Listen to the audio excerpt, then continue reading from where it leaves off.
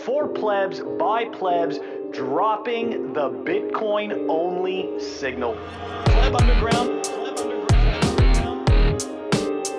Welcome everyone to the Pleb Underground.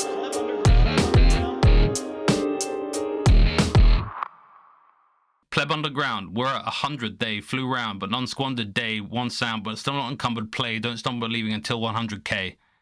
Bitcoin the money, it's peer to peer. Clown world still funny, it's year to year. Sun shining, I'm smiling ear to ear. Boat trip soon, go whiling, peer to peer. The sun just in, anchored like Tron Burgundy. I'm not tightened down, I make cuts like a surgeon. Be ruthless and cunning, can't be a burden. See, You can't fall to victimhood, it's serial as per Bundy. If you don't like what I say, then you call me a bully while I point out the strings that tether to the pulley. Sure, use some cables once you can pull her. Show commitment to the project. Channel P. Wooler. You already know I'm like, unlike the rest. You already know I'm not at your behest. You already know I'm super, test, net positive. Oops, I confessed. It's now public, feel blessed, save, not invest. Of course, stacking sats is the main best that you stress. She's the favorite side quest. Episode 100. It's already here. It's amazing how words can bring out a tear. Just be authentic yourself and please have no fear. Except when cooking your steaks, you must have a sear. Fuck the euro and the ECB. Bitcoin only, don't need to pick six like a CB. Real stackers, no, there's no easy B. Can't try to regulate Bitcoin, though ECB. You can only wash it with HSBC. Pretend to be innocent like HSBC and me on my stage now like an LTSBC. If you're not on the list when you call it's busy. Always left them off the latch. Fox. Cleans up in the hatch. Socks. Your reality 22. Catch. Gox. Always bring the fire like a matchbox. Have fun staying poor. Have fun slaying more. Or have fun praying. Or have fun playing whore. I try not to reuse a rhyme. She doesn't want to reuse a dress. You can't reuse your time. You don't want to reuse your stress. We got 100 shows, close to 100 flows. 99% oblivious, 1 in 100 knows. I get a lot of yeses. You get 100 no's. 100 chances. You blundered those. If you got one good girl, you don't need 100 hoes. Possessions can weigh you down like 100 foes. I don't need much. Family, Bitcoin, not 100. Those are my rhymes. How I make sense of the fiat worlds, the pounds and pence. Hence, when it confounds, my pensive walks give space from apprehensive talks. Allow me to zoom out, give Hawkeye vision. Can't let the world burn, let live, unlike forks. Being the main character can't be with orcs. Open your eyes, you must just see. Silenced fast, lightning censures. Let's take a cut, no suture, frightening accentures. Profits, there's the glut, no teeth tightening dentures. Invest in the future like lightning ventures. Around here, we do what we do. Always talk straight. I could not be you. In this game, ain't none stepping to. I rep my people and me. Who's repping you? I don't know how you do it, Walton. You always seem to bring the fire. That was absolutely awesome. Guys, that's right. Episode 100 of the Pleb Underground. Thank you all so much. We appreciate you. We love doing this. And joining us today very special guest, fellow Bitcoiner, Pleb. He is the founder of Lightning Ventures, the CEO of Thunder Funder, and he's known to his friends as the Muzzman. That's right. We've got Mike Jarmuz. Dude, thank you so much for joining us on the Pleb Underground. Ow, that rap was fire, my man. And uh, yeah, thanks for having me. It's good to be here and uh, ready to have some fun. Let's do it. All right. We're going to dive into the numbers. The other numbers, of course, brought to us by Time Chain Stats and Time Chain Calendar for the last 100 episodes. Phil, what do they look like this week? At the time of this recording, the block height is 858,119. The Bitcoin fiat exchange, 61,926. Oh, 925.94. Okay, it's just moving, whatever. All right, so Big Macs, Big Macs per coin. What do we get here? For one Bitcoin, we're getting 12,024. Oh, 12,023 Big Macs. Total public lightning capacity, 5,047 fastest fee six sats per v byte what what happened to the what happened to the stakers? Oh yeah that's right. It was a limited launch. Anyways moscow time 1615 boom. The numbers. You get a little uh, you, did you get a little worried walton when you saw that uh, that fee spike on uh, on thursday? Get a little concerned? No? You're muted. Nobody knows you're concerned what fee spike? Like I, am not. I'm, I'm not. You, I'm not. I'm. Come yeah, on. I'm not doing. Uh, you didn't see the two hours that, that it went up. Um, no. Okay, so he's he wasn't concerned. All right. Uh, uh, I think the one thing to note though is that, and, and this is, I know it's a bullshit stat, but like market market cap, right?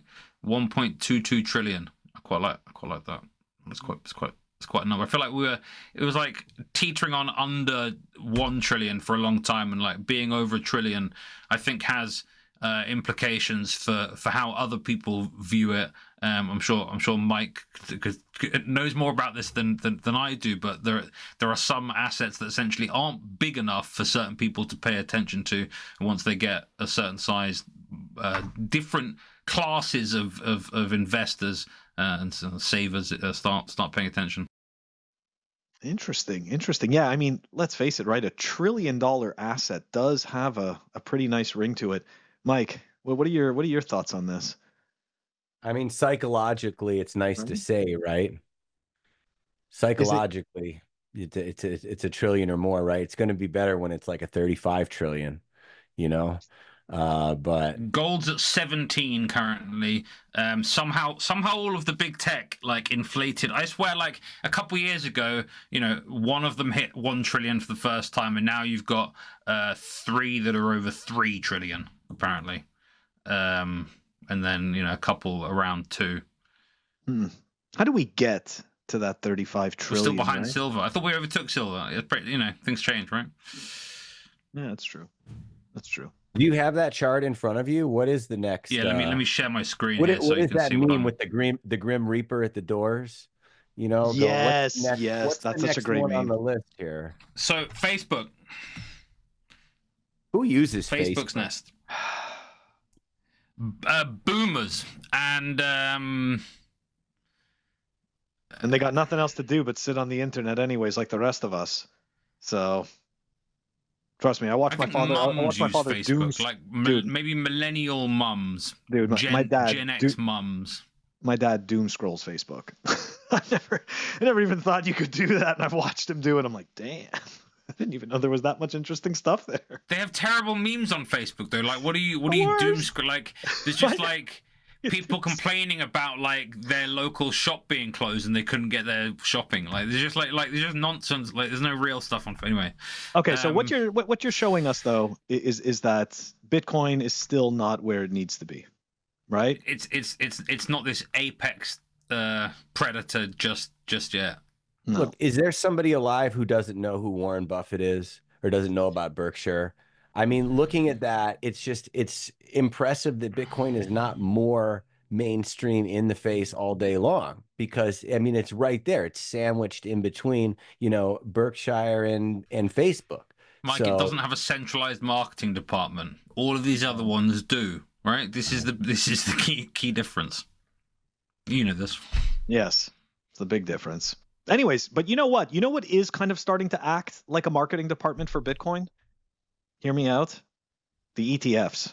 That's that's that's what we're going to take a look at. For Uh, gross! I, I thought you were going to go a way better direction Of than that, course, Phil. of course, you thought I was going. You know me. Come on, man. You're doing this. Come on, you've been with me for two years. You know I'm going to talk about some cringe stupidity. Let's dive into this. All right. Here we go. That's right, Walton. Here's the cringe stupidity. And this, sadly, sad. Look, I, I, I don't like saying it, but when it comes to legacy money and it comes to mainstream media, this is the BS that gets their attention. The ETFs. And here you go you know, again, I, I hear it's really crazy. I hear more and more narrative talking about how we're dead at 60K, how this cycle is a bust, you know, grayscale's dumping, Mount Gox dumping, UK, you know, seizing coins, blah, blah, blah, Germany dumping. Well, here you go, guys. New Bitcoin ETF saw inflows in 10 days of the last 12 days. So there you go. As we are quote unquote dead and dying, and the cycle is busting right? The uh, the ETFs, I don't know, they're still doing uh, they're still doing numbers. So this kind of brings up the question.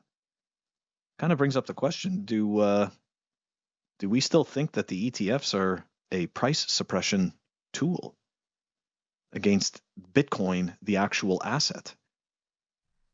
Fuck the ETFs. yes, of course. I love the ETFs. I think ETFs are great. Ah! I, Listen, I don't know. It's a gateway Why did drug. gold okay, fail? It's a, it's a it's a gateway drug for Bitcoin. Why did gold fail? It was captured.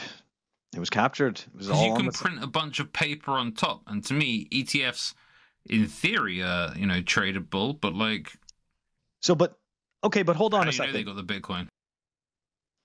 But Mike, l- let me ask you this because this is one of the things I've thought of a few times as well, and I'm not. I, I'm just. I haven't convinced myself of this. Like, do we think that is it that we think that these ET the the Bitcoin ETF buyers are going to be Trojan horse into actually owning Bitcoin, the asset, instead of the ETFs? Is that it? Because I, I don't know. I I wrestle with that one. Eventually, but you're not giving you you know we if you've been in Bitcoin for a while, you often forget about how terrifying it is. Okay. And still the user experience of listen, mom, this is going to be your first Bitcoin. These are 24 words. Don't ever lose them. Your life savings gone. All right. Uh, you know, that still is like very hard to get over. You know, that's it's a tough onboarding experience. Okay, I got these words. Oh, wait, I'll take a picture of it with my no, don't do that. No, no, no, wait, wait. Um, and and it's the ETFs provide sort of a way that Aunt Mary and Uncle Bob can play around with something that's not a derivatives contract. Okay. It's mm-hmm. not like one of these other ETFs. It's not subject to decay and CME options and all these kind of nonsense things. But, you know, supposedly they're running them properly. Okay. Wait, so they don't have fees? For now they don't have fees but though the fees are coming right I, I think they're still in the no fee period except for gbtc um, but whatever there'll be fees right and you know there's Mm. fees for other things you know i mean there's some people charge you to unchained has a fee you know i mean you want to have a, a multi-sig sort of setup or you want to move your ira i mean a lot of other you know But that's a flat fee, not a percentage, right? I think there's a, it's, there's a big difference. I think it's an annual fee, um, but yeah, you're right. It it is it is still a percentage, but that percentage of peace of mind of like you don't have to worry about the self custody. But then it's like in stages. Oh no, I right? meant like the, the, the, the ETFs and other TradFi products charge a percentage uh, fee of of like how much you have, whereas a fee to Unchained is just a flat fee for the for the for the period time period. I think I think it's two hundred fifty dollars a year to be an Unchained customer. I think, But that's not that, that figure doesn't change if you have more Bitcoin. Is my point. Whereas like tr- with TradFi products, if you have more ETF, you're going to be paying more in fees because it's a percentage fees rather than a flat fee. Right. So yeah, a traditional stock doesn't have a fee like that, but ETFs do have a fee, right? Your S&P ETFs or actively managed ETFs. Um, I mean, they all have a fee. So you're right. I mean, there is a fee associated with it, um, but there's also uh, a bigger fee associated it with it if you're new to Bitcoin and you lose some. Uh, that's a that's a hefty fee too, and I, I don't know anyone who hasn't lost at least some amount of Bitcoin, right? Whether it's twenty dollars in a in a blue wallet, uh, that you know whatever happens, you were hasty. I, I've never sending- lost it by losing keys, but I'm a multi-sig maxi. You've never lost Sats in any wallet anywhere, you know. Not not lost. Like have I like one one time did I borrow some against Bitcoin and then like not responsibly manage the LTV maybe, but like I've never lost Bitcoin. You've never wanted to try a Bitcoin wallet on your phone, downloaded it quickly, screenshotted the QR code. You're playing around with $20, $30. You're testing a new Nope. wallet, and then something happens. No, No, I was gonna God say neither. bless you. Yeah, we're neither of us. But but look, how about this? Right, I do I get also your never point. bought a shitcoin, but like there's different ways to do things. Like you know, But I, I get your point uh, about the, the the mom and pop, right? Like I, I've talked about this many times. Uh, it, it took me a very long time to to get my father to to go and actually uh, not just install a wallet, right, but to go and actually purchase Bitcoin. Um, so yes, I, I can definitely I I can definitely relate to that. But uh, but let me ask you this: um, how much how much do you how do I say this like do you believe that there is a correlation maybe or have you noticed a correlation in your experience between the attention given towards the bitcoin etfs um, kind of becoming let's say interest in bitcoin businesses right? Like you know so it's like all of a sudden you're getting this, you know, there's this mainstream exposure to the ETFs, and then people start to think, you know, do you believe that this is translating into people thinking, should we be investing in Bitcoin businesses? Like, have you noticed any kind of uptick in that interest? Before we get into the fireside chat and really dive uh, into what you do, but I, I just I, I was wait, thinking. But, but wait, because we're talking about this ETF thing, I just want to make Okay. a couple of quick points. All right, Okay, so this okay, is go. really fun, right? Because you know, if you have an if you have an E Trade account or a Fidelity account or Interactive Brokers or whatever you're doing, right? If you have you know twenty five thousand dollars worth of Bitcoin ETFs or stocks of any kind in the TradFi, I can immediately fire up a margin account.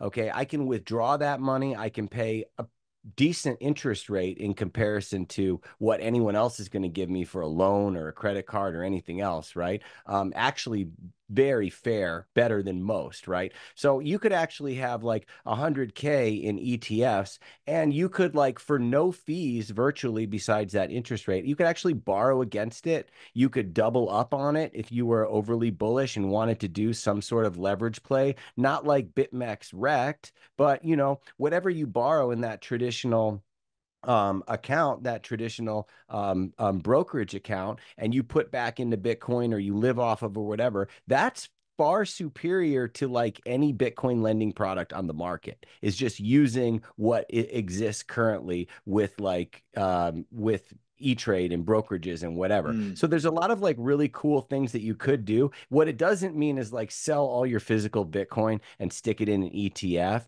but there is a way to kind of complement your cold storage Bitcoin with doing some cool stuff. Um, you know, if you were You sound like around in the Tina. Market. Oh no, I don't want to sound like anyone like Tina, Isn't that. or funny, even- like now, now, like T- Tina used to be known for like you know, it, it means there is no alternative, right? B- Bitcoin only and cold storage, and Bitcoin now Tina. now it means there is an alternative, uh, and and a few people are in support of it. Yeah.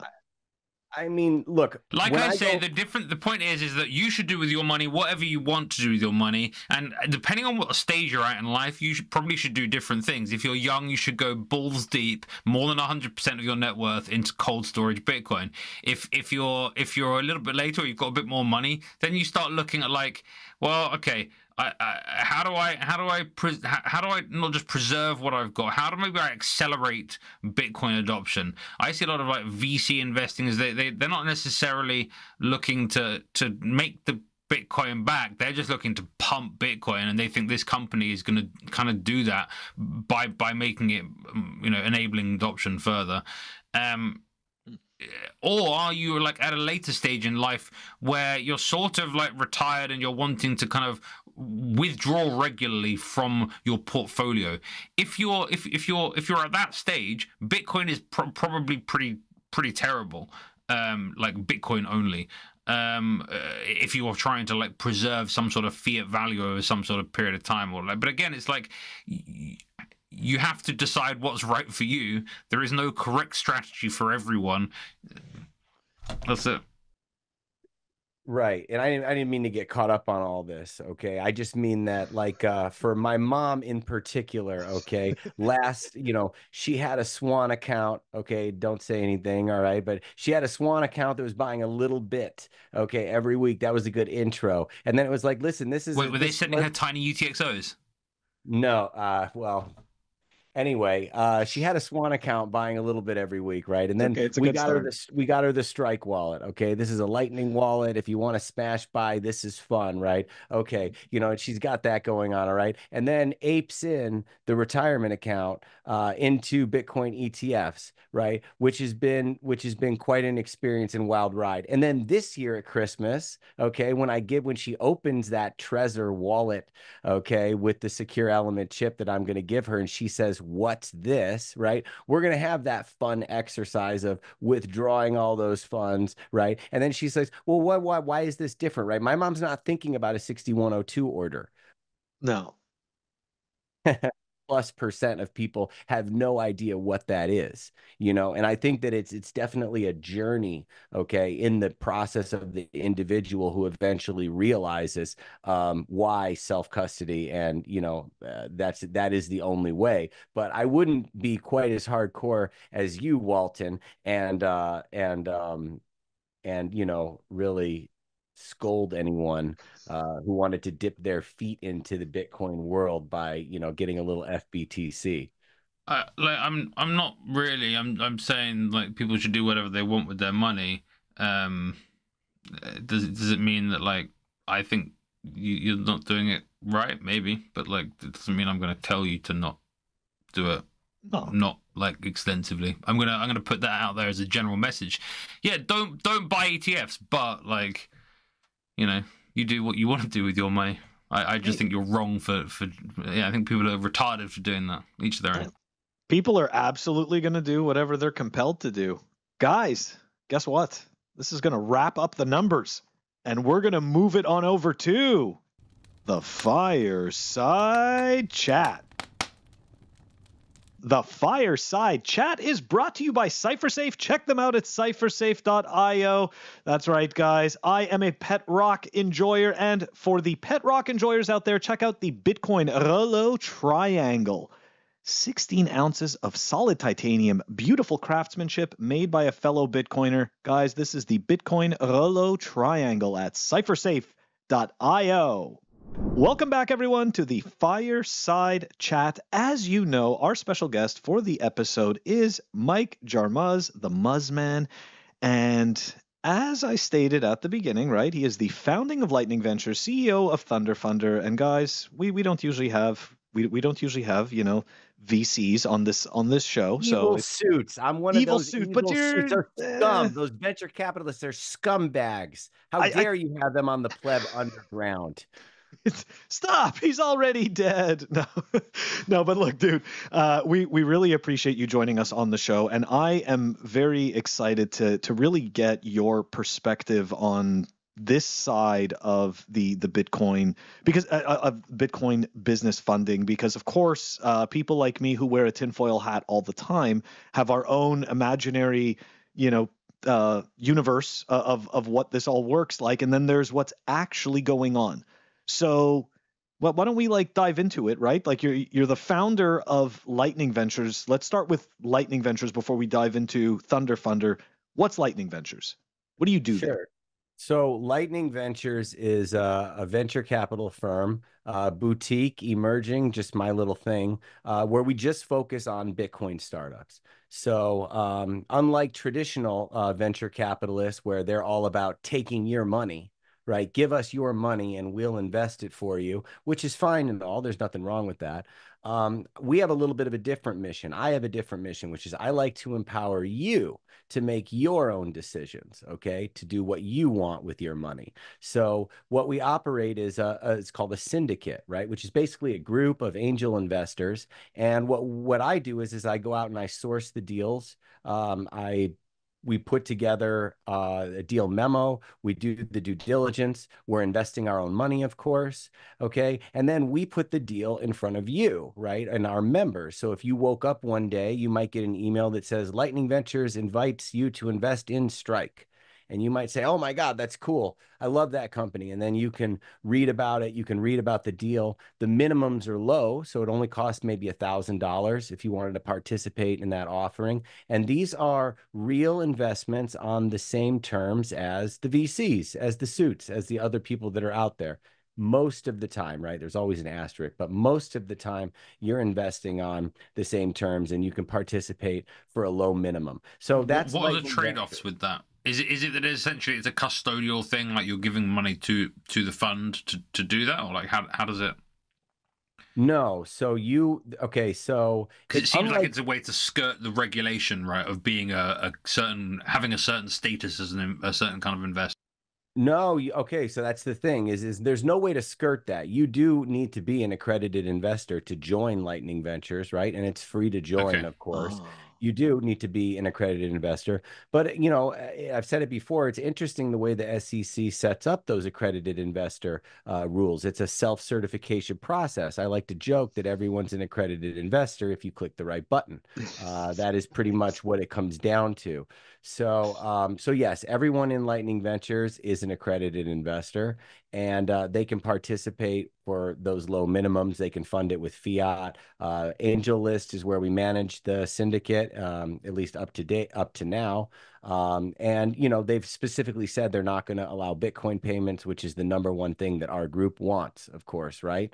Uh, is Bitcoin payments. So unfortunately, we're living in a fiat world there, and there really isn't like a custody with angel investing if you're building a portfolio. What there is is the trade off is incredible, you know, illiquidity uh, which is if you invest that thousand dollars in Strike or Bitcoin Beach Wallet or whatever startup you're investing in, Relay if you're in the UK or whatever it is.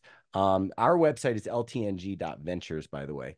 Um, so you know, like you pretty much have to think. Is that this that the wrong? This isn't you guys. no, Lightning that Ventures is on that Angel is, List. that is that is where you could apply to join the syndicate. Absolutely. I just thought you could Um, see, see. I could have a peek at some of the investments you guys, you guys made. Oh, and this is alphabetical, so it seems, like quite a lot because this is just A and B, and I recognize a bunch of companies. yeah. Hey, Azteco. Yes, I love stuff. Azteco. I actually talked Breeze? to Akeem earlier today. I'm sure Akeem would love Oh. to be on your show. Maybe he already has been. I don't know. Um, but yeah, he's uh he's a he's a great No, dude. he hasn't been on the We show had yet. we had a guy. yeah, we had the geyser. Yeah, I had the geyser dude come on. That's pretty cool. I had Galoy. All right. Hey, Relay. I like those guys. It's good stuff. Unchained, nice. Bitcoin company. Dude, good stuff. nice. Yeah. So, um, you know, rather than a lot of other VCs, they want to target rich people. Hey, give us $250,000 and we'll invest it for you. And that's great and all. That's fine. But I think it's cool to offer those investments to other people. I remember when I started investing, uh, wanting to learn about how do you invest in private companies? You know, how would you Mhm. invest in Yes. how would you invest in Coinbase or Robinhood back when Coinbase just sold Bitcoin, by the way, uh, back, you know, and, and these type of YC companies, right? Airbnb was a crazy idea then, or DoorDash. How do you get those like crazy returns that that, that Right, because actually, because actually, stuff? IPOs are where the VCs and everyone dump on retail. That's And right. So it's it's how do I get in before the IPO so that I can dump on retail with all of the the insiders? Yeah. That's right. well, um, They don't dump all their shares, but yes, that is the chance for No, them to monetize. I used to think they're like, oh, an IPO, like it, like an IPO. It's exciting. This is where the pub- public get to get to buy this thing that's really, you know, must be really valuable if it's it's finally being allowed to be public. But no, actually, the IPO is a is is an opportunity for for the dump, right? It's it's it's it's it's hyped. Um, uh, by by you know inside of investors, and then it's dumped by them buy them later. And I think shit shit coins are just I've talked about this before. Shit coins are just the like lowest cost way of doing the pump and dump. They used to do tech IPOs, now they just do shit coins because it's cheaper. Okay, now we could probably talk about that for quite a while. All right, but um, look, I uh, you're a Look funny at guy. Andreessen You're Horowitz. you're you're, prime a- you're a funny guy. Okay, but now here's the thing. There's plenty of dumping opportunities on the way to the IPO. Okay, there's secondary transactions. Okay, and there are other ways because when you're an early stage investor, hey, Fold, you know Fold?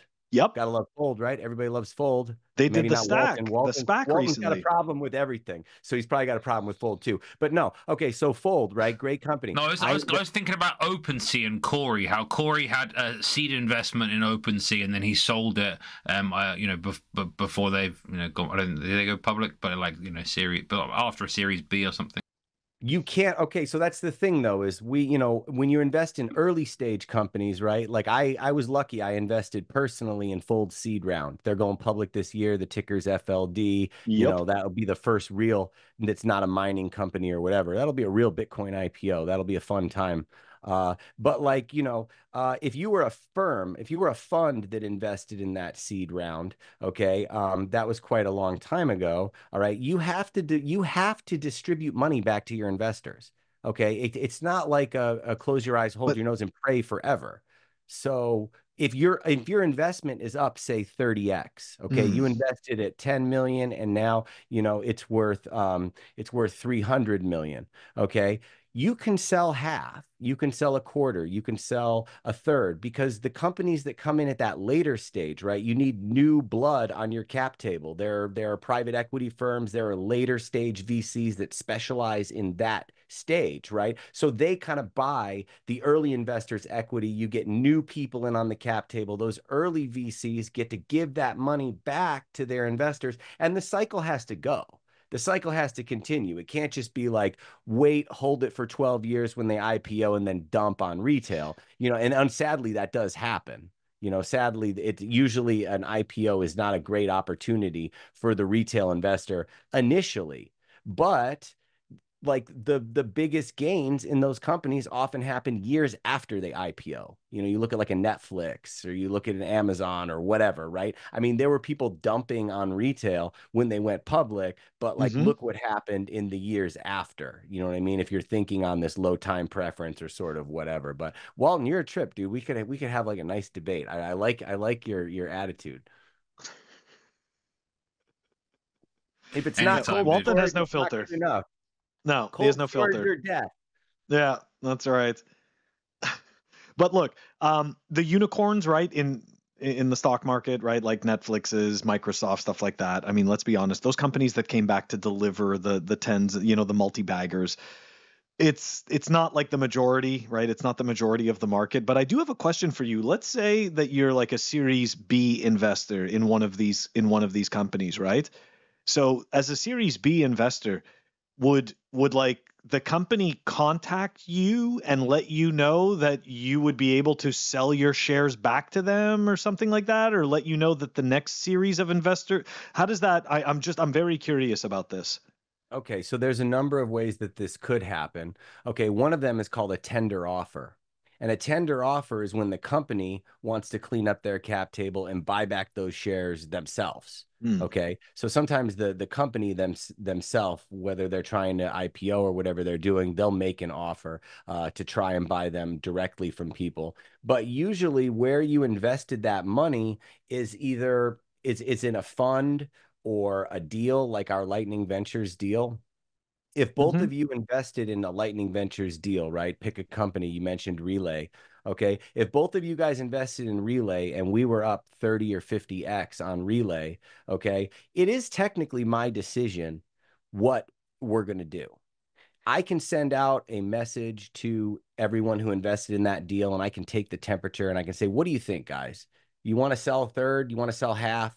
F you, hold it till IPO you know, don't sell anything, dump it all. And you kind of get a feel for what everyone wants to do. And everyone cannot be treated equally in that transaction. So if we are going to sell 25% of it and distribute a ton of money to everyone who invested in that, right? And you guys can, everyone can buy Bitcoin or do whatever they're going to do. And we're riding the rest. Okay. We're still riding a bunch of equity, but we, we trimmed a little bit and was able to take something off mm. the table. That's ultimately like one person's decision unless you invested yourself personally for like maybe a $25,000 minimum into one of these uh, startups so, yourself, you don't get to really make that decision. You just are a part. So your Michael Burry, Scion Capital kind of kind of vibe. No, it, it's not a it's not a democracy. Like it's uh, fuck you guys. I've got all your money. We're we're going long this until until our balls fall off. Like coke. Not not because I designed it that way, but because I have to live in the way that it is designed for me to play in, right? I'm mm. an emerging fund manager. I raised my first fund, which was no fees and no carry. I make nothing off of it. Okay. It was just just to get experience out there. It wasn't even a very big fund. Okay. So I wanted to build up the syndicate, the world's largest group of angel investors, this angel investing network. I have operators, I have CEOs, I have badass people, I have people who are just you cool, right? I would love it if you guys were in there, right? Maybe it's a sponsorship opportunity. Maybe you can network with people. It doesn't matter if you want to pike a thousand dollars into the next deal or not. I just want to have a big group of badass, awesome people. That's kind of the goal. And then when a company needs help or is looking to hire someone, you know, we have it there. It's not that I set it up like I I get to make the decisions. It's that there is no other way to handle it. Okay. Um, mm-hmm. and you know, that's there just there is no other way. So you know no i i appreciate you explaining this i think a lot of people don't necessarily get this kind of visibility in, into that so Thank you very much. I okay. I have one more question about this stuff, but then we're moving to the Thunder Funder stuff. Okay, so so that we could talk about that. But my my last question is this because I did notice on the roster of investments you had Swan, and I know that recently, right? Like this is a pleb show. Like lots of plebs. Like we're all familiar with Swan. You know what I mean? Like uh, some of us, right, knew Corey and and Brady and a lot of these other people even before they were they were Swan. So I, I have to ask you based on the news that that you've been seeing, because I'm I'm assuming that you know you see what's going on and everything, and obviously they they just had to you know let a whole bunch of people go. I don't know what you are allowed to share, but as a investor in this, do you have any kind of visibility uh, that is maybe I don't know not being shared on Twitter? Like, what do you feel like you have sufficient visibility? Yeah, I. So, I guess it's kind of like a two pronged vague question. Do you have any visibility, and are you allowed to say anything? I guess that's the question. so when you think about investing in a startup, whether it's your own money or whether you're investing in a fund or you're part of a syndicate, um, you're a minority investor. Okay, mm. so if you know if you pulled together all the money that we invested uh, in Swan through, you know, uh, our first fund and, you know, syndicates or whatever, we're talking about maybe $350,000, maybe. Mm. I, I don't know. I can't think off the top of my head, but like it's not a lot of money okay over like a series of multiple rounds as the yes. company was doing very well you know it's like 140,000 and 25,000 and another 50,000 like this is not a lot and you're talking about um, a company that's raised tens of millions of dollars. Um, yes. So when you are a minority investor, um, you don't really get a lot of information. And to be quite honest with you, um, like we've invested in over 40 bitcoin startups right? This is a way mm-hmm. for plebs to invest in bitcoin companies okay? So if we scrape together a syndicate for a company that that you know and like right? I mean you could just just name a company right? Um, whatever it is um, we can't like look at that company's balance sheet month to month okay and really scrutinize what like that's not what it's about. Mm. um, we can be helpful we can be supportive we can read their updates we can pass it along to the investors and try and get people excited and and, and help the company uh, as much as they'll you know communicate with us. But if a year goes by i don't think i've ever gotten an, a, an actual update from strike you know, I'll be honest with you, their last Series B round that we participated in, Jack was cool. He's like, I want to get away for the plebs to participate. Lightning Ventures is the best vehicle. He carved out 500K. All right, we filled the allocation through our group. A lot of people, you know, supported the company. I don't think we've ever gotten an update from hmm. Strike as far as like the, the inside of what's yeah. going on with the company or whatever. Nothing, huh? But that's kind of expected. Okay. Okay as opposed to companies that I'm really personally involved with, right? At the very early stages, right? I mean, I would I helped Azteco put together their first round. Um, that was a lot of fun. Uh, or companies like Slice, um, the browser extension. Like I help these companies a lot, right? So I have like pretty deep inside knowledge as to what they're doing because I'm I'm actively involved. So mm. it really comes down to like the check size and, and what you the most important thing, at least for founders to realize, mm-hmm. is like just because you take money from an investor, they can't actually like influence your business most of the time. They can be a pain in the ass. They can send you emails, they can ask you annoying questions. You know what mm-hmm. I mean? I mm-hmm. don't want to do that. Okay. But like just because you take 250 grand from somebody and you let them on your cap table to help you with your Bitcoin startup, they cannot tell you how to run your business, right? It's still yeah. your show and you're in charge. And yeah, at some point in time in the later stages when you have board seats and all these other kind of fancy things, then maybe it gets a little bit trickier to just mm-hmm. give the middle finger and do whatever you want to do. But for the most part, that's kind of what you can do. You can just do what you want to do. So it's realistic. I mean, as far as Swan goes, uh, as far as I know, they're fine. Oh, very That's interesting, it. and I, I really appreciate your take. Uh, I, I do. Um, I, I, think that for whatever reason, there's not enough people kind of talking fine about now this, after they so. sacked a bunch of people and like cleaned up their balance sheet by not having extra salaries. Okay, yeah. Um, now they're safe. now, now, now they're safe. Right. It's not. It's not like. It's not like those people got hired two years ago after um, Bitcoin Magazine uh, fired them also due to financial mismanagement. Um, I, and look, my anyway. wife worked. My wife worked there, and she was one of those people that got axed that day. You know, so um, I'm sorry I, to hear that. Well, I'm with you. It's just like stuff happened, right? Mm-hmm. What what happened? What happened? But how, why do you fire people on a Monday? Like, how bad things have to be that you fire? Because there's going to be a conference. Friday? Because there's going to be a conference that they can go look for a job if you fire them.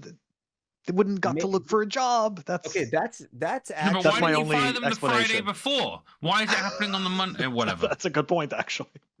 It's a very good point. Uh, yeah. You know that's um that's a really good point as to why that happened on the Monday. I thought it would have been better to do it after the conference because you had a lot of people going to the conference. Morale was Mhm. high. Swan had a booth. Like, why would you want to send you know dozens of people to that event that had been fired like just days before? Like, why not? It's also saying, "Hey, we're in trouble. We're going to turn up at this conference, but actually, we're not doing great as a company right now." Like it's it's a weird like weakness display like before a big public Bitcoin event. Look, you know, I don't know if you've ever ran a company either, okay, but like as far as I'm Nothing like that, this. No. I'm I'm in that seat now with Thunder Funder, and I have to say it's a lot easier to be the VC and to talk to a founder, and they tell you they're burning however much money every month, and you can just slit their throat and slap them around and be like, "Are you crazy? Like, what are you doing?" Blah blah blah. And let me tell you, uh, after being just in this seat for a little bit so far, it's way different. Okay, it is way Mm. different, and the shit adds up. You know what I mean? And um, and we still have no revenue with Thunder Funder, and I'm watching every dollar, and I can only imagine that that increases as you go, right? I mean, it's no secret that Swan likes to spend money. I mean, they throw the best parties and all these events here in Miami and Mhm. everything, and hiring and couple hundred people, and you know what I mean. And and maybe it just catches up with you. Maybe someone pulls a term sheet. Maybe you think that you're going to get X amount of dollars, and like it happens, and there's a there's a reality that's faced, you know. But certainly, it wasn't gradual. It wasn't, hey, we're cutting 10 10% in April, ten The, percent. the theory the theory I heard that I, I kind of like is that um it's like te- basically tether a CIA and tether rug Swan's mining business because the CIA are just trying to do general uh what's the word cause general chaos in the Bitcoin industry. I'm, I'm like surely they could be they'd be like more targeted than that, but like I don't know. I don't know how these things work. Who knows?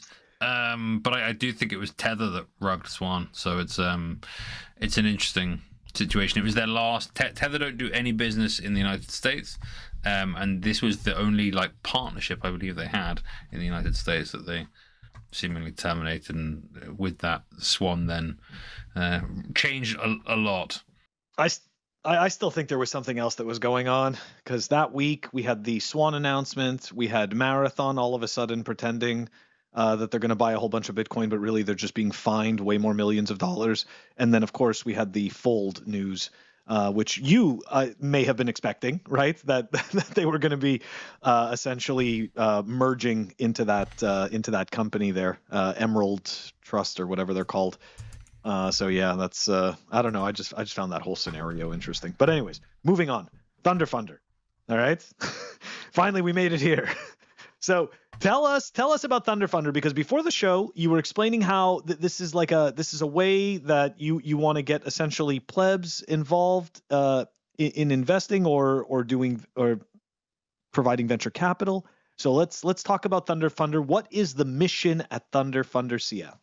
Okay, so for those people who were uncomfortable clicking the right button with Lightning Ventures, right? Maybe they weren't uh, uh, an accredited investor. Okay, um, Thunder Funder is a way that anyone, virtually anyone, can invest in early stage, or let's just say Bitcoin and open source startups, right? It's a little bit a little bit outside of Bitcoin only. Okay, things like Start9. Start9 is not a Bitcoin company, right? Um, Yeah. but you know they're known for some some Bitcoin things, right? Maybe Some there's cool some Bitcoin stuff. stuff. Maybe we could do a deal with Primal.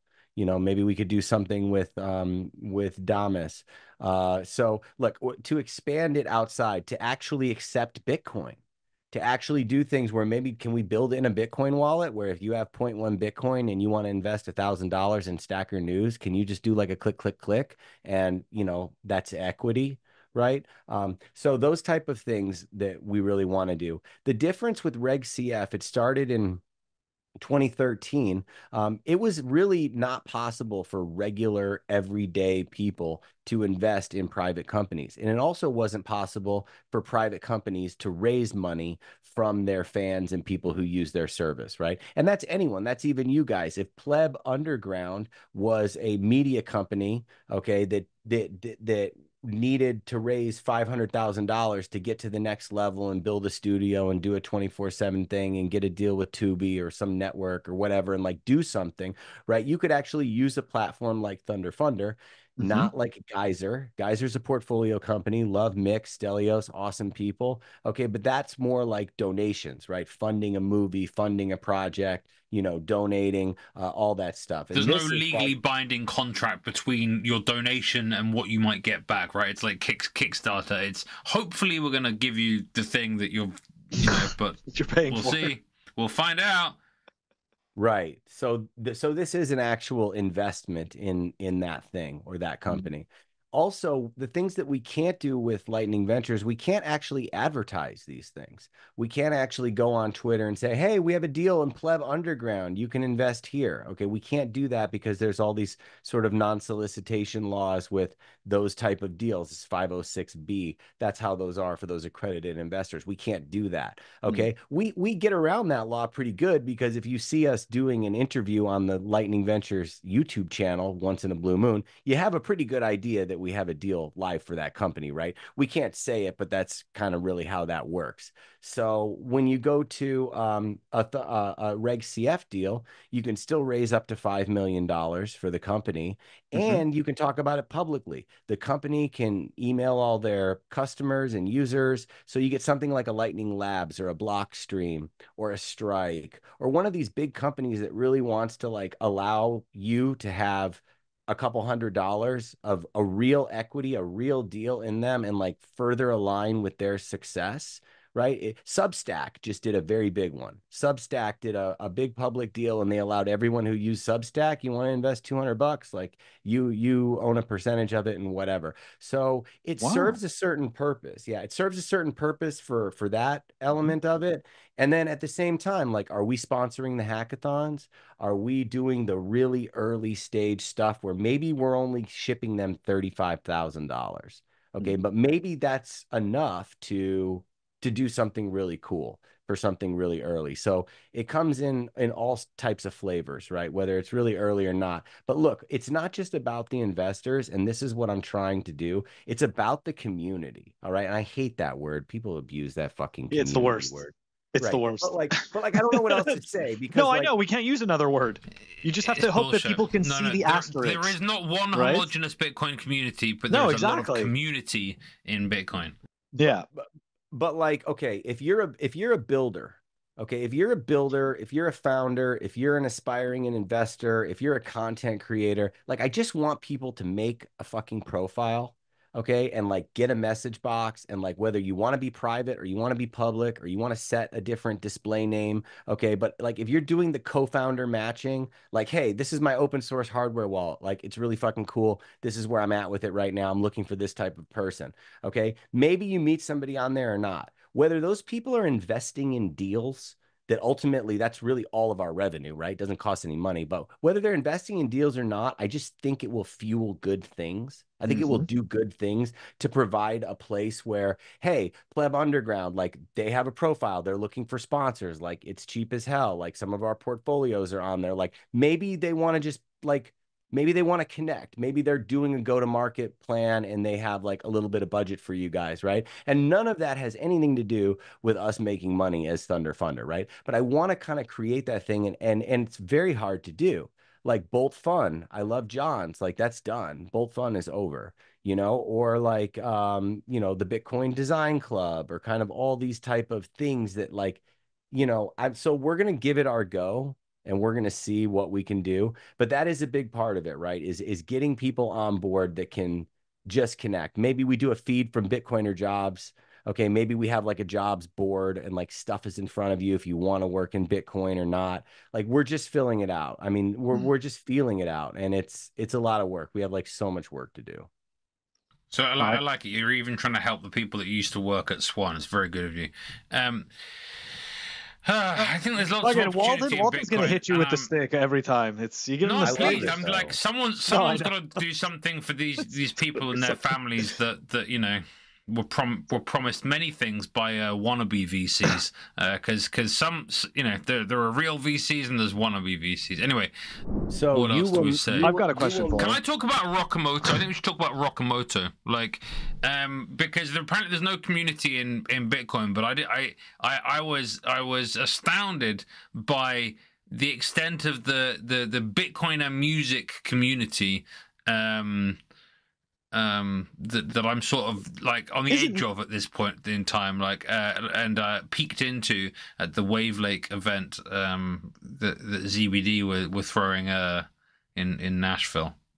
Mike tell us more about rockamoto So Satoshi Rockamoto is definitely fun, and it uh, came about out of the blue in Mexico uh, at Ugly Old Goats conference, and there was hardly anyone there. And I, I used to work in music. I was a band manager and a concert promoter. I worked in music for a long time, and um, it just came about that like there were a bunch of people there that I knew could play, and there was this weird cover band that just had gear, and I basically talked them into letting Wait, when you say gear gear like drums, Not heroin. two guitars. oh like- right because like like, like I think physical gear, gear can mean drugs to like for, Oh, to no, musicians so no, just no, to clarify So we just um, talked them into, hey, what can we do something? Can we screw around for a little bit? And just, you know, drummer and Mir, you know, Giacomo's uh, wife, you know, she's a professional Mhm. singer and Bitcoin mechanic, you know, Lex, he used to play with Donna Summer. Like he's a beast on bass and keys and whatever.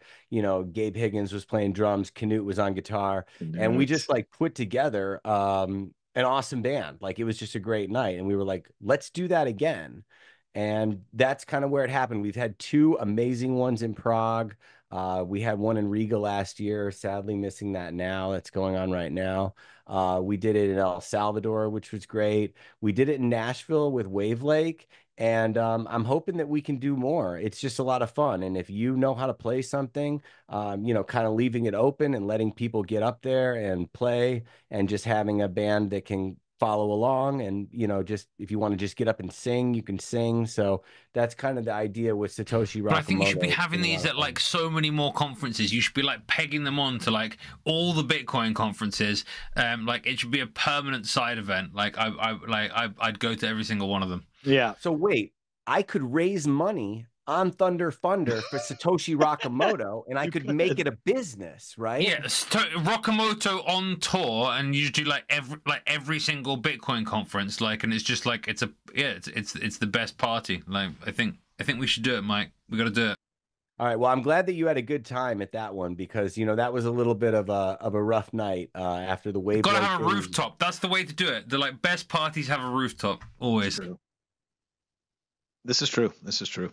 Okay, Mike. Um, we we got to wrap up the uh, the fireside chat, but before we do, how can the viewers and listeners get in touch with you? Where can they find you? And of course, everything Mike says uh, is going to be in the show notes.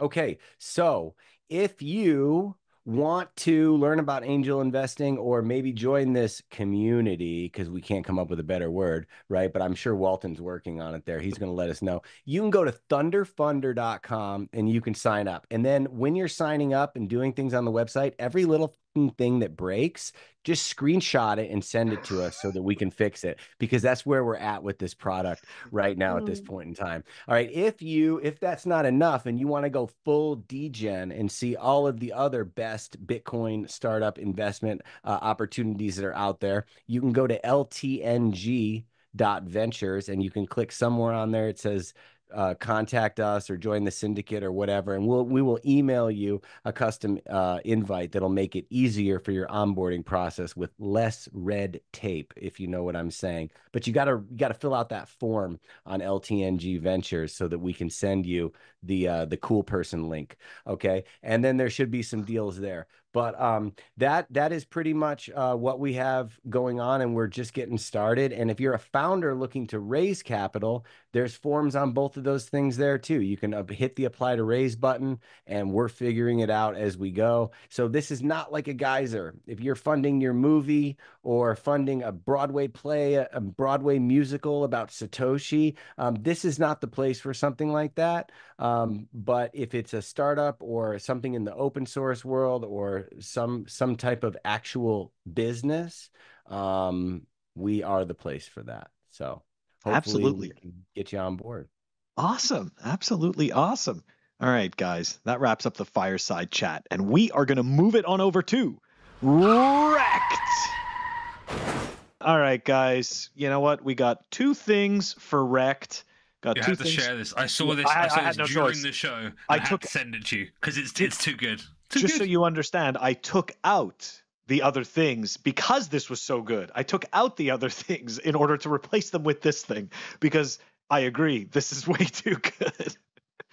Anyways, anyways, guys, you know, I, I know that a lot of shitcoiners get pissed off. You know, they, they don't want to believe that they're just a bunch of exit liquidity. And I know that I probably remind shitcoiners about this, uh, I think, on a weekly basis that they are exit liquidity. But Whale Panda, Whale Panda, who's been in the space a whole lot longer, uh, a whole lot longer, and um, echoes the the same sentiments. Shitcoiners are exit liquidity, and the best part is is that there's proof because blockchain. So here we go.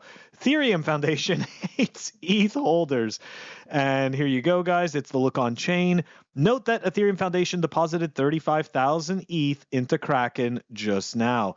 And that's right, guys. Uh, this is not the last Just over ninety-four million dollars of ETH, apparently. That's right.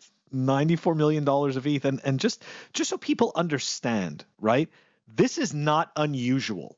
This has happened in previous in, in previous bull cycles as well. Okay. This is how the Ethereum Foundation keeps its lights on. And it also has no hard cap. So although uh, a lot of the Ethereum proponents want to sit there and, you know, kind of just jerk you off about the, uh, you know, that, that they're having deflation and the It's flippening and all this stuff. It's state. Phil, isn't it? It's ridiculousness. I just realized Oh, yeah, Ethi- it the is. Ethereum Foundation is the state. They go, okay, so what we're going to do it's is we're gonna Coinbase and just take- Take, money from from from you whenever we want because it's our money. And then we're going to bribe a bunch of people who who then feel empowered by the Ethereum Foundation. And oh, what great people the Ethereum Foundation are! They they provide me with a job, and I can I can be a developer working on a you know a bunch of things that are important to me. And uh, uh, the Ethereum Foundation is uh, looks after me. They they we should let them do everything. They're so good. They really are good. Anyways, uh, yeah, ETH bag holders down bad, flippening, not gonna happen, not gonna make it. Uh, but anyways, anyways, moving on. Well, actually, here before we move on, Mike, do you do you have any comments about? I mean, like we, I mean, I spend my whole time just dunking on shitcoin, so I can go on about this forever.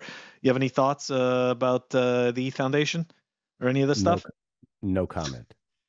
That's that's yeah, that pretty much sums it up. All right, moving on, moving on, but that's okay. Now we're going to talk about Bitcoin, uh, Bitcoin Layer Two. So you guys might have noticed, uh, yeah, you might have noticed uh, on August 22nd that all of a sudden in the morning, in the morning we had a little bit of a fee spike, right? And people were sitting there thinking, oh man, the ordinals guys, it's the runes people, it's this. Actually, it's not. It's not. It's Babylon Bitcoin staking. And of course, I, I had no choice but to retweet that and say, I don't believe it, but we'll see how this plays out. Um, so here you go. This is a screenshot from their um, from from the Babylon website. You know, does my BTC leave my wallet once it's staked? So essentially, this is quote unquote a staking protocol for Bitcoin. Okay.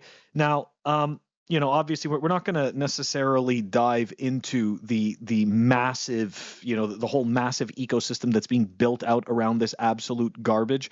Uh, but this is the Babylon ecosystem. There's a whole lot of fun stuff like Web three. Uh, they mentioned decentralized a few times. Uh, unparalleled blockchain. Oh, that's fine. They said decentralized, Phil. Yeah, That must mean it's good. Yeah, look, yeah, we're good. DeFi We're good. innovations, right? Innovations to DeFi technology. I mean, look right here. This again, more of the Bitcoin stake, uh, the Bitcoin staking world. One protocol to get Ethereum, Bitcoin, and DePIN native. So, look, you, you already know where this is going. And guess what? Let's scroll right up here, guys. This is the, uh, yeah, I, I I dug into this because I did a clip about this well over a month ago. Um, and nobody cared because why would anybody care about this? But now the bigger accounts are shilling you this crap, so it's like, oh my god, look at this staking on Bitcoin. Yeah, well, we were already dunking on this a long time ago, and yeah, I'll take a I'll take a lap for that one. But anyways, here's the I can see arrows. The arrows mean Yes. the money goes round and everyone gets rich. Yeah, So- just like every one of these diagrams. Right? But look, but this is the piece I think people aren't paying attention to. So keep in mind, you're staking your Bitcoin. What the fuck is LBTC? What is that shit? Okay, so look, Loser Bitcoin. Thank you. It yes, but but wait, there's more. Okay, so you guys saw up here in this diagram, there's this whole little consortium thing, and essentially you've got to beg this consortium to unstake your Bitcoin and to do whatever the hell you're going to do. This is the this is the begging place. This is where you come to beg for your money back. Okay, now let's let's dive into the consortium. Lombard's consortium is a decentralized ah Beautiful. They said the magic word decentralized state machine for sharing ownership and managing assets among various members. Who are those members? How are they chosen? It doesn't matter. Just give us your money. The consortium performs the following actions to manage these processes. Okay. And here's this whole giant garbage nonsense thing, which we're not going to go through. But you need to understand the consortium is this non central entity that appears to be a central entity that decides when your money can leave the ecosystem and when it can't. Now, the reason why I gave the reason why I read through what the consortium was was so that you guys can understand what's happening here. Okay, here's the processes where you stake your bit your your your BTC on the Bitcoin blockchain. Right? Listen to this. Because you're not staking Bitcoin on Bitcoin. This is fucking nonsense. So here we go. The staker receives. No, that, the... that's too simple, Phil. It's got to be much more elegant than that. this is so dumb. The staker receives the notarized data. And yeah, here we go. RPL encoded data, unit 256, blah, blah, blah and invokes the mint transaction to get their LBTC. There it is. There, there it is. Here's your there. There's your shitcoin. Now here, wait. Invoke it, it, these nuts. Yeah, invoke, dude. Look at this. Unstake LBTC. Not available yet. So so I don't Not know if you available yet. That's amazing. so come stake your corn. You can't move it. Anyways, the staker burns LBTC tokens on the designated blockchain. So again, I, weren't we staking Bitcoin? What is this LBTC thing? And then, of course, here's the best part, guys. Here's where the begging takes place. The consortium, after verification, unstakes the designated amount of LBTC. Where did my B, where, where did my Bitcoin go again? From the chosen finality provider. Who chose that provider? And who so is that Phil, provider? And then sends the Bitcoin transaction to the address passed to the burn transaction for the withdrawal transaction. The consortium builds. The consortium builds a Bitcoin transaction and signs in with CubeSigner. So if you don't understand the the freaking hostage situation that is happening to your Bitcoin here, I, I don't know what to tell you. sorry, Walton. Go on. I was going to say, so is it like the swan of the of the yield world because there's no sell button? there's no sell button. I don't think this ends well, guys. I don't think this ends well. Um, Mike, I don't understand it. I mean, you're um, not meant to. That's the point. I, I, that's that's, what, that's why are. all of these things work. Is because they it's smart enough to confuse midwits, and so midwits go, oh, th- there's clearly something clever happening here. Well, I don't understand all of it. Well, these people seem trustworthy enough. I'm to do, I'm to give my money to them. It's a relic of of of outsourcing critical thinking that's very common in the fiat world, where people just use um, like celebrities as like oracles on judgment, or like you know, it's it's people have stopped thinking. Like you like. Yeah, it's like people don't switch their brains on. Um, there, yeah. there, are, there are a lot of borderline stupid things that you could do with Bitcoin. Um, but whatever you just went over there is, way too complex for my brain. But like they're like the they're like the the easy to understand, really dumb things that you can do. Um, but that's just a really complicated dumb thing.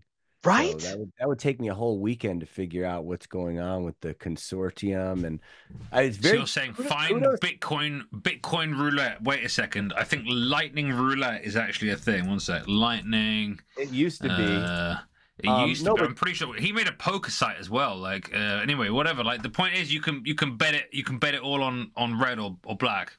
Well, maybe orange and black. Maybe kudos to him kudos to them for choosing lbtc to create another layer of confusion for anyone I, who who knows a little bit. When you said that yes.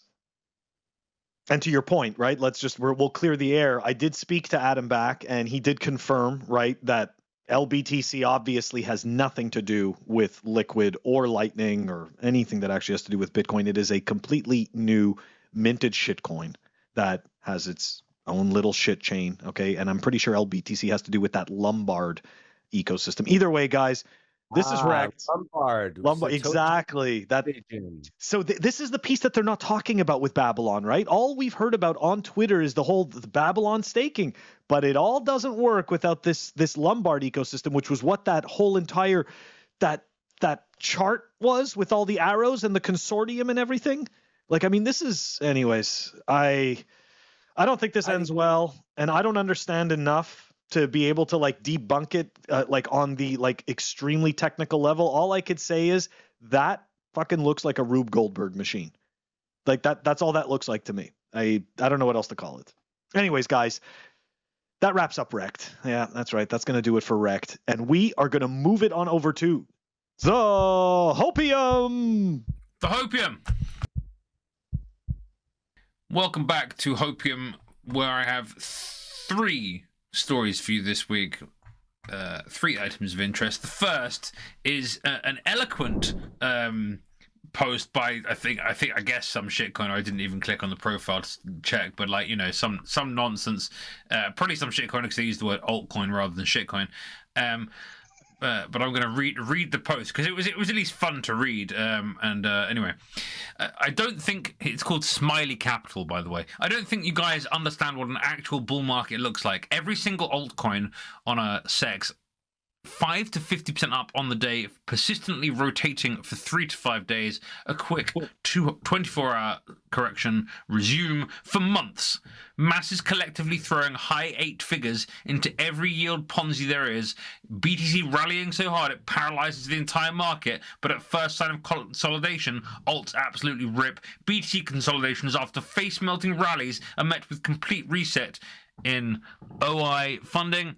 One cannot believe their eyes. Price while derivatives cool off, fucking sideways. Local TA gurus call bull flags resume up shortly. Once BTC is done, ETH pulls an ever stronger rally. You'd think it was a 100 million uh, market cap mimetic being shielded by the local cabal brings the entire market up. Altcoins start having weeks, months of inhumane moves. The only caveat he spelled it wrong. Uh, dev- devastating short-term corrections to wipe the leverage. Alas, riding longs from much lower and/or longing these wicks is a 99% safe play. Hell, I'd say 100%, but some of you will 100x leverage an altcoin if I say that. Your spot bags, depending on where you're at in your journey, you're probably looking at watches, boats, planes, houses. Hell, some of you will be looking to buy islands and super yachts. And if you think just for a second you can come up with an actual good reason we're not getting that again for at least a few months in the near future, you're delusional. Your downside risk is 50, 70%. Boo-hoo. Your upside risk, your sorry, your upside is generational wealth that will make every ex-girlfriend pull their hair out for losing you.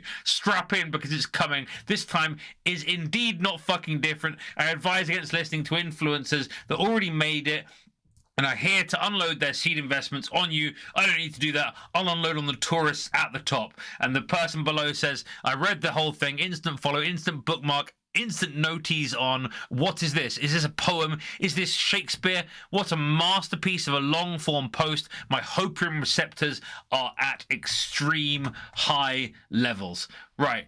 Um, um, I admire the the level of testosterone that this guy is pretending to have. um, Good storyteller. that's it. And uh, yeah, but I kind of I don't know. It was it was it had it had some vibes. It was it was entertaining for me at least. Yeah, definitely entertaining. Mike, your thoughts on this one? Uh, I- all I can say is I'm entertained as well. So And bullish, right? Entertained and bullish. mhm. It's good stuff, Walton. Yeah, I, I channeled my inner gladiator for reading that one. I think. Um, all right, up up next, another another another gladiator. Um, my my buddy who who hung uh, a decent bit in in Nashville, um, is is joining the underground. Wait, what's this? Let's have a look. That's right. This is a teaser for a brand new Bitcoin show. Let's level set the playing field for what you can expect to come. Keeping hopium narratives in check, showcasing the incentives of politicians and other detractors, and a reminder of the reason for Bitcoin's existence a medium to exit the crooked fiat system.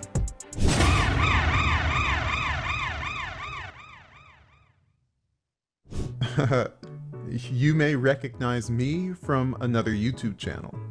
But some of you may just say, Who the f is this guy? Well, my name is Ulrich, and my super shadowy Anon name on X is Sir Ulrich. And like I said, I have this new show starting, and well, it just may taste different than what you're used to seeing. I'm going to bring you unabated, uncompromised clarity into why Bitcoin means more than an arbitrage on debt or a slick trade. I'll talk about it being a tool that provides an objective, efficient, non sovereign medium to interact with others in a truly free market. Oh, and everything you see here will be self researched, self written, self recorded, and self edited. And you'll never hear that familiar pacified narrative that rules the algorithm, keeping people in an open air fiat prison. Here we'll honestly recognize CEOs from banking, MIC, and tech companies as politicians, beholden to congressional committees to conspire against you.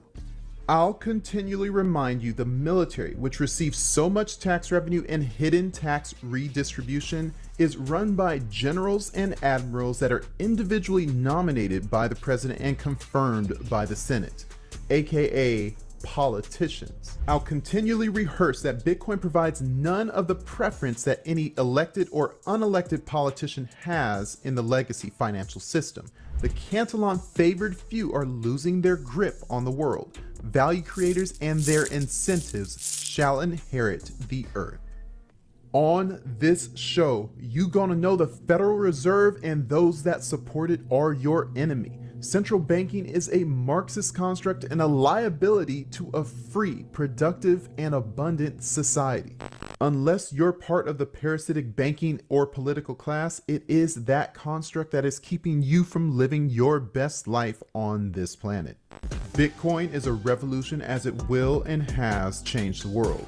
But if we truly understand it, then we too cannot resist being changed ourselves. So we pursue knowledge and application of the protocol. We grow in understanding of the tools that support it. We hold fast to the principles that drove Satoshi to build this system. We repel the watered down Bitcoin plus shills for the sake of making everyone happy. We stand our ground against high time preference scams and a globalist dystopia. Now, if this all sounds like a good deal, this is probably the show for you. But I do have one question. Are you down with the underground? So He made more and more people, more and more people down with the underground. This is this is of course a very very good thing. Yeah. Uh, Mike, are you down with the underground? I am now. Um, that's, really cool, Let's go. though. Yeah, Congrats. yeah, that was a great video. We're super happy to have him join the uh, the pleb. underground. So what? Underground Yeah, what's happening? The It's the, awesome. the the pleb underground is growing. Yeah, bullish. That's some good hopium right there. Right, and the final the final bit of hopium, Nice, Madex. Nice. Don't call it a dream, call it a plan. That's right. Um, if if you if you want to, if if if don't don't dream about putting some of your um uh eh, money into uh custodied assets like like Mike plan to to to to put them uh in in in the ETFs. No, don't don't do that. But do whatever you want to do. Uh, but don't forget what it's all for, right? Like, uh, don't just don't just be sitting on sitting on money and going, I have a dream um you gotta you gotta start planning you gotta start you gotta start building um um because otherwise you you'll you'll get there and then you go well this was kind of pointless. And i think this is one thing that that mm-hmm. humans don't understand well and i'm myself included. When you have something when you have some sort of goal or some sort of objective that you're that that you're working towards for a long time when you finally get it it doesn't hit like you think it like you think it will. Yeah sure you're pleased you you got it you're pleased you achieved it whatever but it doesn't complete you right? Like the the uh I like I, I I I used to hate this expression of like like it's not about like the the end result it's about the journey but like life It's is true. actually life really is that. Um and i think you you have to you have to try and work out how to how to resolve this. I think bitcoin um un- unfortunately makes it more difficult because you go well in 4 years what could my dream be in eight years, what could my dream be? Mm-hmm. But, but okay, like you got are you are you are you planning to get there? Have you have you planned who who's going to be joining you on this dream? All of these things matter. And I just want to point out we we would like to have Mike come back on the on the show at some point. So we, we don't we don't want to hit him with the stick too many times. I think maybe like Pleb Underground should somehow host a virtual Rockamoto. And I just came up with this idea. So like, Oh, uh, yeah, I don't know. We'll, we'll now you're trying to butter out. him We'll up, huh? Yeah, yeah. I like that. gonna- I, I I do like that. Sorry, go on, Mike. We're gonna make it happen for sure. I'm excited about all your uh, uh another show on your channel too, and what you guys are doing. So let me know Well- when we can apply. Are you have you have open applications for more shows on your channel? Absolutely. It's called Always. just send us a DM and talk to us. That's it. That's our formal application. Um, but yeah, I think uh, I think that's some pretty good hopium. I think that does it for us. Good stuff, Walton. Very good stuff, guys.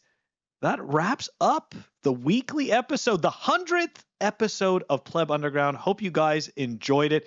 Don't forget to check us out on our audio only platforms Apple Podcasts, Spotify, and Anchor. If you want to stream us sats, check us out on fountain.fm. But before we go, Mike, how do the viewers find you? One last time. How do they get in touch with you? thunderfunder.com thunderfunder.com you can hear that acdc riff yep like at the next rockamoto. They did that one in prague. It was pretty good. Thunderfunder.com very cool. Very cool guys. All right walton how do we end this? Fuckshitcoins.com please like and subscribe. We'll see you next week. Peace